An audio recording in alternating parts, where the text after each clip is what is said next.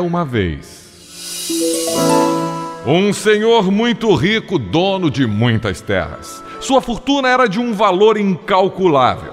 Ele vivia em seu palácio, rodeado por parentes, amigos e serviçais. Esse homem tinha um coração puro e bom e nunca tinha negado um alimento, um agasalho, a quem vinha lhe pedir ajuda.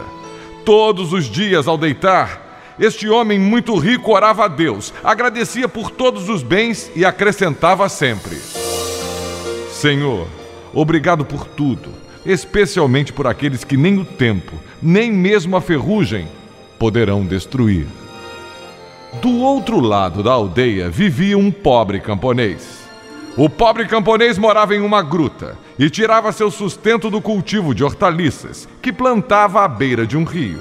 O camponês vendia seus produtos àquele rico senhor e todas as vezes que ia ao palácio, retornava para casa resmungando por entre os dentes. Meu Deus, por que aquele homem é tão rico e eu tão tão pobre. Que injustiça, meu senhor! Eu daria tudo para ter toda aquela fortuna. O tempo passou.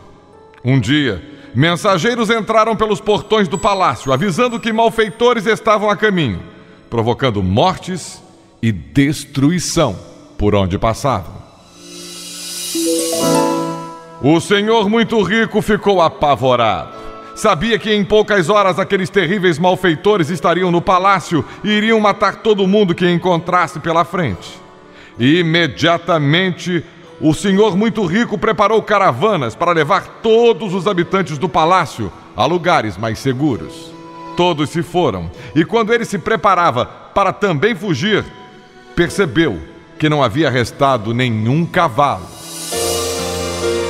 O senhor muito rico acabou se preocupando tanto, mas tanto com os outros, que ficou sozinho. E agora? E agora? O que fazer? Os arruaceiros se aproximavam.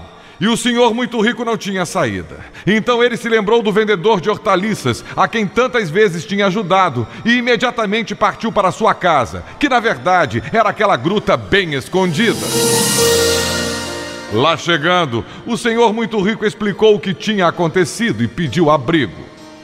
O pobre homem rapidamente viu que aquela era a chance de realizar seu grande sonho e propôs: Tá, tá bom, meu senhor, tá bom, eu divido com você meu pedaço, meu espaço, salvo-lhe a vida.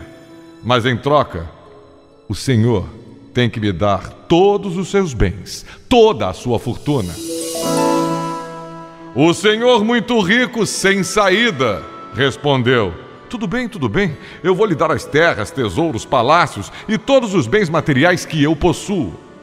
Os dois fecharam o acordo. O nobre senhor entrou na caverna e repousou. Já o camponês, que agora estava rico, não conseguia conter sua ansiedade. Ele queria logo tomar conta de tudo que tinha ganho e foi correndo para o palácio.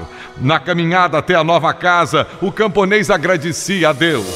Ah, obrigado, Senhor. Agora não reclamo mais da vida, já consegui tudo o que queria. Enquanto isso, na gruta, o Senhor muito rico agora, muito pobre, rezava: Meu pai, mais uma vez lhe agradeço.